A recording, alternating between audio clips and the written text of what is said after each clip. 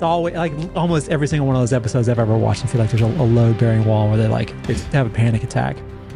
That's not restoration construction, right? That's not hail damage to the house.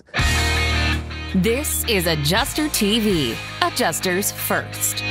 This video is sponsored by the multinational IA firm Crawford & Company. To be the best, you have to join the best at crawco.com slash cat. As an adjuster, is just do it.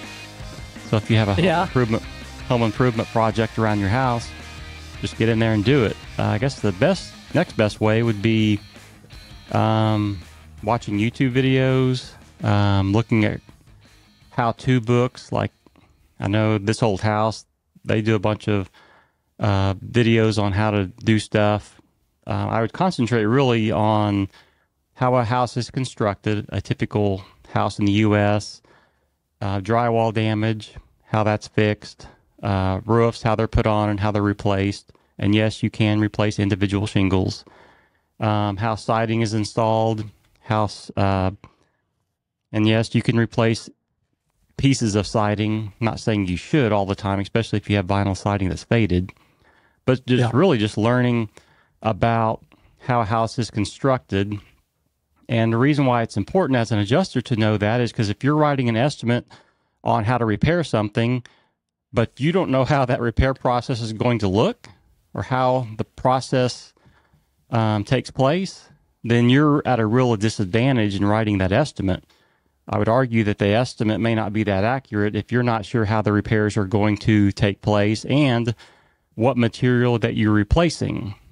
So if you're replacing, uh, if a homeowner had vinyl siding, but you're putting fiber cement siding on your estimate, that's not an accurate estimate.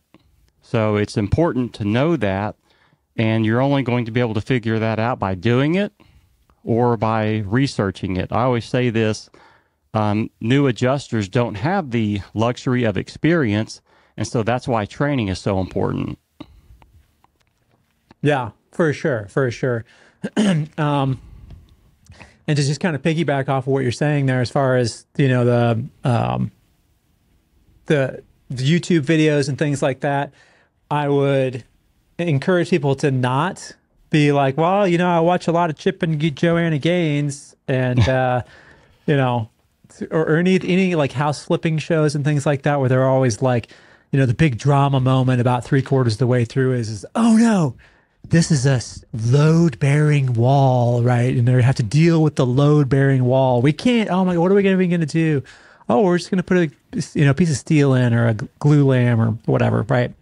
It's always like almost every single one of those episodes I've ever watched. I feel like there's a, a load bearing wall where they like they have a panic attack. That's not restoration construction, right? That's not hail damage to the house. Um, I think the thing that people need to understand is, yeah, you totally need to know how a house is, a building is made, right? What what are the components to a house, right? Um, you know, what's the foundation? What kinds of like do it's just do, I mean, it's the truth of the matter is is that we don't have to be have like the knowledge of like a general contractor, uh, like deep knowledge of like how to do all this stuff and like when I say how to do all this stuff, but to be like, you know, look at something and be like, all right, how are we going to, you know, design and engineer a front porch with the with a roof on it and a deck and the boards and the load bearing and how are we going to figure out? You don't. It's good to know that stuff, but it's not something that you necessarily need to, to do because th- what you're doing as the adjuster is dealing with stuff that's already there, right? First of all, so you can be like, okay, well, there's metal roof, there's uh, two by six uh, rafters. There's some uh, one by, you know, four one by six tongue and groove, you know, between the roof and the rafter, and then there's some some there's something between the the roof and the one by you know tongue and groove, right? Some underlayment. Um, you don't need to know how many nails there are, or if they use screws or nails or staples. It doesn't matter. Um, you know, what's that supported by? So on and so forth, right? If you can stand there and look at it and identify those things, you're you're getting pretty far with it, right? But you got to know kind of what you're looking at. And you have you do have to have a general understanding of, well, foundation, right? There's different kinds of foundations. You know, slabs. There's there's footers. There's crawl space. There's full basements, right? There's fully poured ones. There's rocks. You know, all these. There's a, a bunch of different ways to do it. Learn that stuff, right? Look look up foundations. Look up framing. How is it? What what are the different ways that a house can be framed? Um, you know, exterior walls, interior walls. Where does the insulation go? How is the electrical in, in, installed into that? How's the plumbing? Was what what? How do you put the plumbing in there? Right? Where does the water come in and where does it go out? Kind of deal. Um, and then you've got your mechanical stuff, like you've got your you know your HVAC, how to recognize, you know, look at something and be like, well, that's the furnace, right? That's that's the thing that that uh, heats and cools the house. Most these days, there's it's one thing, right? And you've got a, a condenser out in the yard, sits next to the side of the house, um, and then finished surfaces, right? So the main thing that adjusters deal with are finished surfaces by and large for, I mean, for the vast majority of things. Unless it's structural damage like earthquake or fire or you know 350 year old oak tree crunches into the side of the house and racks everything and you can see like the the drywall's all shattered and everything's kind of at a skewed at an angle and you can see broken you know uh, two by stud, two by four studs in the walls right? That's structural damage most of your claims aren't that right they're hail damage to the to the to the roof and the siding, which are finished surfaces. Those are not structural items, right? It's not you're not doing framing when you do the roof, generally speaking. Um, water damage on the inside. We're going to do drywall, paint, maybe some insulation if it, we can, you know, if we think it got wet or it's part of our estimating guidelines or whatever. But we're not replacing studs. Even if they had eight feet of water, they had seven feet, 11 inches of water is one inch that didn't get wet at the very top of the wall. We're not replacing the studs right? We might replace almost everything else, but we're still not doing the structural stuff unless it was otherwise damaged. You know, a big log came washing down with the flood and smashed into the side, and anything like that can happen.